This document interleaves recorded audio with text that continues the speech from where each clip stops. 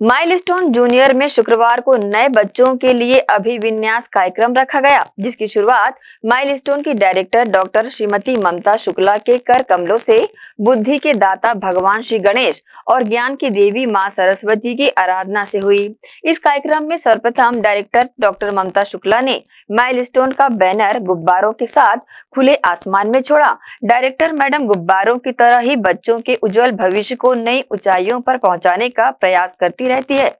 इस सत्र की शुरुआत में शुक्रवार को जितने भी बच्चों के अभिभावक गण आए, उनके लिए ये कार्यक्रम बहुत ही रोचक एवं ज्ञानवर्धक रहा।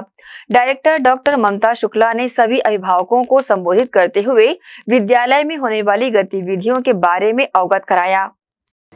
बच्चे बहुत छोटे हैं कुछ बच्चे, जो पीजी वन, पीजी टू या एलकेजी में एडमिशन ले रहे हैं।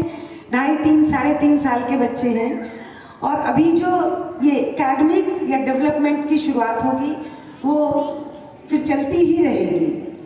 और जो बड़े बच्चे हैं क्लास वन टू फाइव या सिक्स टू ट्वेल्व वो भी ट्रांजिशन है। किसी भी रीज़न से वो यहाँ पर आए हैं, वो भी एक ट्रांजिशन ही है, एक जगह से दूसरी जगह का। इस मीटिंग का उद्देश्य ये है कि ये जो ट्रांजिशन है, ये जो शिफ्ट है, चाहे छोटे बच्चे का हो, घर से लेके स्कूल तक या बड़े बच्चों का है एक स्कूल से दूसरे स्कूल की तरफ़ तो ये बहुत स्मूथ होना चाहिए।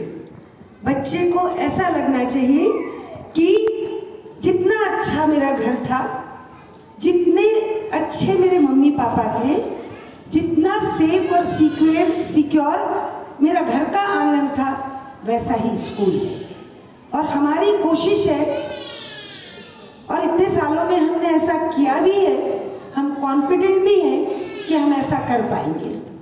पर ये हम अकेले नहीं कर सकते। इसलिए क्योंकि हम तो एक एंड पर हैं और आप घर पर हैं। हम दोनों के बीच की कड़ी है बच्चा। तो हम लोगों को जुड़कर रहना है।